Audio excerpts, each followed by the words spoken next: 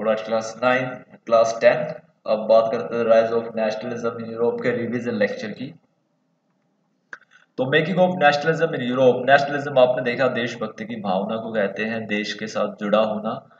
German Italy Switzerland जो थे, वो उस टाइम पे किंगडम्स में डिवाइडेड थे डचीज में डिवाइडेड थे कैंटन्स में डिवाइडेड थे और उनके जो रूलर्स थे, उनके अपनी अपनी टेरिटरीज होती थी। तो ये एक देश के तौर पे नहीं थे, जैसे आज ये दिखाई देते हैं, पूरा एक ये देश है जर्मनी, इटली, पूरा देश है, स्विट्जरलैंड पूरा देश है। ये उस टाइम पे हिस्सों में बटे हुए थे टेरिटरीज बटी हुई थी और हर एक का अपना अलग एक रूलर होता था। They did not see themselves as sharing a collective identity or a common culture. और उनका अपना कोई कलेक्टिव आइडेंटिटी नहीं थी। वो अपने आप को जर्मनी का, इटली का, स्विट्जरलैंड का नहीं मानते थे। वो अपने आप को एक पर्टिकुलर टेरिटरी का मानते थे। और ना ही उनका कल्चर एक था, ना ही उनकी आइडेंटिटी एक थी, उनकी भाषा अलग थी, उनके धर्म में कुछ चेंजेस थे, उनका पहनावा खाना पीना सब चीज़ों में डिफरेंस था। आज के टाइम पे तो नहीं दिखाई देगा, लेकिन पहले था ऐसा। Aristocracy and the new middle class aristocracy कहा गया है, जो लैंडेड एरिस्टोक्रेसी थी, जिसके पास ज़मीन थी नोबिलिटी में जो थी, वो एरिस्टोक्रेसी यहाँ पे डोमिनेंट क्लास थी। इस कंटिनेंट का यूरोप में यहाँ पे इनकी ज़्यादा चलती थी। और उसके बाद जब इंडस्ट्रियलाइजेशन हुआ इंग्लैंड में, तब यहाँ पर एक नया ग्रुप बनकर आया, उसे कहा गया मिडिल क्लास ये मिडिल क्लास कौन था? एजुकेटेड था लिबरल था, इसके पास पैसा था नॉलेज थी. तो ये क्या चाहता था? Abolition of aristocratic privileges aristocracy को जो स्पेशल राइट्स मिले थे उस समय, उनको ये नहीं चाहता था कि ये मिले। वो चाहता था कि सोसाइटी में सभी के साथ एक समान व्यवहार किया जाए। What did the liberal nationalism stand for अब बात आती थी लिबरल नेशनलिज्म की। लिबरल मतलब आज़ाद ख्यालों का नेशनलिज्म ऐसा नेशनलिज्म जिसमें डेमोक्रेसी की बात की जाए, जिसमें सभी के लिबर्टी की बात की जाए, सभी की फ्रीडम की बात की जाए तो लिबरलिज्म का मतलब था फ्रीडम फॉर द इंडिविजुअल इसके बाद ये विश्वास रखते थे concept of government by consent ऐसी सरकार जो लोगों की सहमति से बने end of autocracy clerical privileges किसी भी तरह के विशेष अधिकार ना मिले, किसी भी तरह की मनमानी ना चले। नीड ऑफ़ कॉन्स्टिट्यूशन एक कॉन्स्टिट्यूशन हो, जिसमें रिप्रेजेंटेटिव गवर्नमेंट हो and inviolability of private property और प्राइवेट प्रॉपर्टी को छीना ना जाए। सभी की प्रॉपर्टी जो है, वो उनके लिए लीगल हो। कोई उस पर अपना अधिकार न जमाए। जैसे राजा महाराजा वगैरह उस टाइम पे करते थे। इसके बाद आया सफ्रेज सफ्रेज यानी वोटिंग तो वोटिंग जो रही, वो रियलिटी नहीं बन पाई फ्रांस में अब तक, क्योंकि बहुत सारे लोगों को, अभी भी गरीबों को वीमेन को राइट टू वोट नहीं मिला था।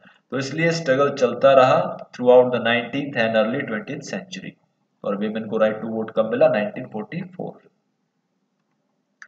लिबरलाइजेशन इन इकोनॉमिक स्फेयर अब बात करते हैं लिबरलाइजेशन इकोनॉमिक स्फेयर में। इकोनॉमिक स्फेयर यानी जो इकोनॉमी थी, जो ट्रेड होता था, वो काफ़ी प्रॉब्लमेटिक था उस समय पे। काफ़ी उस पर बैरियर लगे हुए थे, काफ़ी रुकावटें थी। तो इन टैरिफ बैरियर को, रुकावटों को हटाया गया। करेंसीज जो बहुत सारी थी, उनको 30 से टू कर दिया गया, रेलवे का सुधार किया गया और इससे फिर जो इकोनॉमिक नेशनलिज्म है, उसने हेल्प किया नेशनल सेंटिमेंट को जगाने में। तो इसने आज़ादी की लड़ाई को फिर और ज़्यादा मज़बूत किया। जब लोगों के पास पैसा आया ट्रेड वगैरह अच्छा चला तो लोगों ने अपनी फिर नेशनलिज्म की जो स्प्रिट थी, उसको और ज़्यादा मज़बूत किया स्ट्रेंथन किया। न्यू कंजर्वेटिज्म आफ्टर 1815 अब दोबारा वहाँ पर एक नए कंजर्वेटिज्म की शुरुआत हुई। तो लिबरलिज्म कंजर्वेटिज्म दोनों एक दूसरे के अपोजिट वर्ड है। लिबरलिज्म जहाँ कहता है, आज़ाद ख्यालों का कंजर्वेटिव कहता है, पुराने ख्यालों का। जो नई चेंजेस को स्वीकार ना करे। तो यहाँ पर नए चेंजेस को स्वीकार नहीं किया गया कब? 1815 में, जब यहाँ पे नेपोलियन की डिफीट होती है। तो जैसे नेपोलियन हारा यूरोपियन गवर्नमेंट ने मिलकर कंजर्वेटिज्म को फॉलो किया चर्चेज को ले आए मोनार्की को ले आए उसके बाद उन्होंने कहा कि ये सब आएँगे, लेकिन उसमें कुछ नई चेंजेस भी लाएँगे। जो नेपोलियन ने चेंजेस लाए थे, वो इनको काफ़ी पसंद आए। तो उन्होंने नेपोलियन के जो आर्मी थी एडमिनिस्ट्रेशन में जो उसके सुधार थे, वो सुधार उन्होंने एग्री करके एक्सेप्ट किए और उसको अपने कंजर्वेटिव रूलिंग में शामिल कर लिया। ट्रीटी ऑफ़ वियना आती है। अब ट्रीटी ऑफ़ वियना यहाँ पे साइन की जाती है 1815 में यूरोपियन इसमें इसके बाद कंजर्वेटिज्म को स्टेब्लिश करने के लिए। ड्यूक मैटरनिक जो था उसने इसको हेड किया था, इसका वो लीडर बना था। बर्बन डायनेस्टी के रूलर को यहाँ पे बैठा दिया गया। फ्रांस की जो बॉर्डर पे छोटे छोटे किंगडम बना दिए गए ताकि फ्रेंच आर्मी दोबारा देशों पर कंट्रोल ना कर सके, जैसे नेपोलियन ने करवाया था। तो ये सारे काम यहाँ पे किए गए।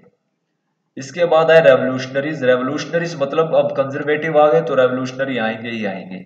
क्यों? क्योंकि जो पुराने सिस्टम को लेके आ रहे थे, राजा सिस्टम को या फिर किसी चर्च वगैरह को तो इसके खिलाफ रेवोल्यूशनरी खड़े हो चुके थे 1815 में। ठीक है? तो आपने देखा था मैजनी यहाँ पे आया था।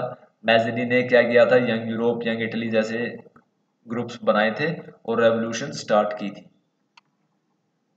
तो एज ऑफ़ रेवोल्यूशन में यहाँ पर सबसे पहले आती है इंडिपेंडेंस ऑफ़ ग्रीस तो ग्रीस की इंडिपेंडेंस ग्रीस की आज़ादी काफ़ी ज़्यादा इंपॉर्टेंट रही। तो यहाँ पे मैटर ने कहता है कि when France sneezes the rest of Europe catch cold जब भी फ्रांस छींकता है, पूरे यूरोप को जुकाम हो जाता है। इसका मतलब क्या था कि फ्रांस में जैसे ही रेवोल्यूशनरी आए, इसका देखा देखी यूरोप में भी रेवोल्यूशनरीज ने अपना सर उठाना शुरू कर दिया। तो इस तरह से कहा गया कि फ्रांस अगर छीकेगा तो पूरे यूरोप को जुकाम हो जाएगा, क्योंकि कोई चीज़ फ्रांस से निकलेगी तो वो पूरे यूरोप तक बहुत जल्द फैलेगी।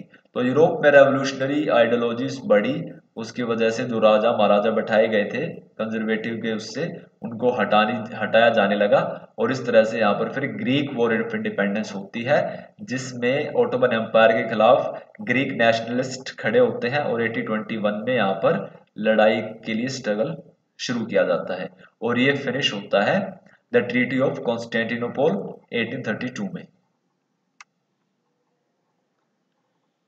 इसके बाद आता है the romantic imagination and national feeling romantic imagination कहा गया, अपने देश के साथ जुड़ा होना, अपने कल्चर को प्यार करना, अपनी भाषा को प्यार करना, अपने सिंबल्स का रिस्पेक्ट करना, बजाय किसी साइंटिफिक या किसी लॉजिकल थ्योरी के तो ये रोमांटिक आए यहाँ पर और इन्होंने देश की जो भक्ति थी, देशभक्ति थी, उसको और ज़्यादा बढ़ा चढ़ाकर लोगों को दिखाया और लोगों को उसके लिए जागरूक किया।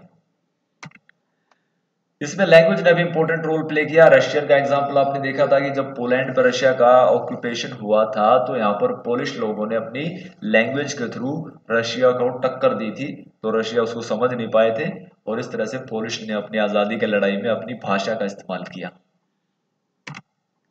Hunger hardship and popular revolt hunger hardship popular revolt में क्या रहा कि भूख कठिनाई और रिवोल्ट का समय वो रहा 1830 का, जब लोगों में पॉपुलेशन ज़्यादा थी, लोग गाँव को छोड़कर शहरों में आ रहे थे। उनकी वेजेस कम थी, पैसा नहीं था, खाने को कुछ नहीं था अनएम्प्लॉयमेंट काफ़ी ज़्यादा था।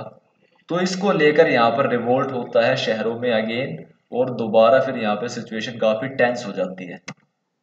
इसके बाद आती है 1848 की रेवोल्यूशन ऑफ़ लिबरल लिबरल यहाँ पे रेवोल्यूशन करते हैं, और क्या डिमांड करते हैं? Nation state on parliamentary principle उसके साथ कॉन्स्टिट्यूशन हो फ्रीडम ऑफ़ प्रेस हो फ्रीडम ऑफ़ एसोसिएशन हो।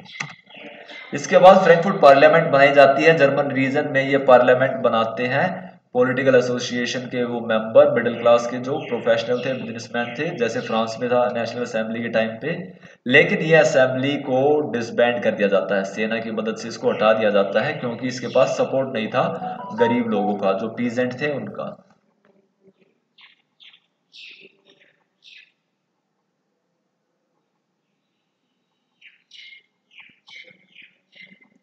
तो फ्रैंकफर्ट पार्लियामेंट के बाद आता है the making of Italy in Germany. तो जर्मनी को जो बनाया गया, वो आर्मी का रूल इंपॉर्टेंट रहा, क्योंकि ऑटोमन बिस्मार्क जो पर्शिया का था, चीफ मिनिस्टर पर्शिया का था, उसने यहाँ पर वॉर लड़ी। तीन वॉर लड़ी गई सात सालों में, और पर्शियन किंग विलियम वन को जर्मन एम्प्रेयर बना दिया गया एटीन में। इसके बाद इटली को यूनिफाई किया गया। इटली के भी ऐसे ही सीन रहा कि यहाँ पर अलग अलग रूलर का राज था तो इसमें रोल इंपोर्टेंट किया चीफ मिनिस्टर काबूर ने। काबूर ने यूनिफाई किया इटली को और उसका पहला किंग बना विक्टर इमैनुअल टू, जो पूरे इटली का राजा बना। Strange case of Britain Britain का केस आपने देखा था कि इसमें कोई आज़ादी की लड़ाई वाली बात नहीं थी। यहाँ पर ब्रिटेन में जो इंग्लैंड थी, इंग्लैंड की पार्लियामेंट का काफ़ी इंपॉर्टेंट रोल रहा है। इसने स्कॉटलैंड को अपने अंदर मिलाया, इसने आयरलैंड को अपने अंदर ज़बरदस्ती मिलाया और स्कॉटलैंड और आयरलैंड के ऊपर खड़ा कर दिया इंग्लिश का पूरा एम्पायर जिसमें इंग्लिश कल्चर को प्रेफर किया गया, इंग्लिश कल्चर को इंपॉर्टेंस दी गई। स्कॉटलैंड और आयरलैंड के कल्चर को क्रश कर दिया गया, दबा दिया गया। विजुअलाइजिंग द नेशन इसके बाद आता है आर्टिस्टों ने कैसे देश को दिखाया, दुनिया को। इन्होंने एक पर्सन का रूप दे दिया, जैसे भारत में भारत माता, जर्मनी में जर्मेनिया, फ्रांस में मरियान। इस तरह से फिगर के थ्रू देशों को दिखाया जाने लगा, ताकि लोग देशभक्ति को अंदर तक महसूस करें। नेशनलिज्म एंड इंपीरियलिज्म अब बात करते हैं नेशनलिज्म यानी देशभक्ति और साम्राज्यवाद। तो दोनों एक दूसरे का दुश्मन है। देशभक्ति जहाँ सभी के लिए अच्छी भविष्य की उम्मीद करती है, वहीं इंपेरियलिज्म सिर्फ़ अपनी टेरिटरी को बढ़ाने में विश्वास रखता है। इसके बाद आता है कन्फ्लिक्ट इन बाल्कन बाल्कन एक ऐसा एरिया था जिसमें Albania Greece Bulgaria Macedonia Croatia Bosnia Herzegovina Slovenia Serbia and Montenegro ये कंट्रीज़ रही है, इस पर Russia, Germany, England, Austria, Hungary ये कब्जा करना चाहते थे ताकि अपनी पावर को, अपनी इकोनॉमी को बढ़ा सके, अपनी टेरिटरी को बढ़ा सके। तो इनके बीच में खींचातान चली, लड़ाइयाँ चली और ये लड़ाइयाँ लास्ट तक गई फ़र्स्ट वर्ल्ड वॉर तो फ़र्स्ट वर्ल्ड वॉर यहाँ पे लड़ा गया, इस तरह से इन यूरोपियन पावर के बीच में।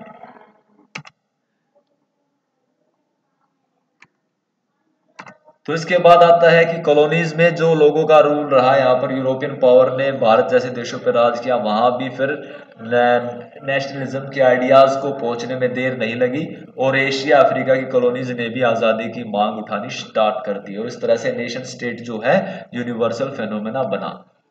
Okay this is the end of your chapter tomorrow we will discuss about the NCERT okay until then, stay tuned for that next lecture. Thank you.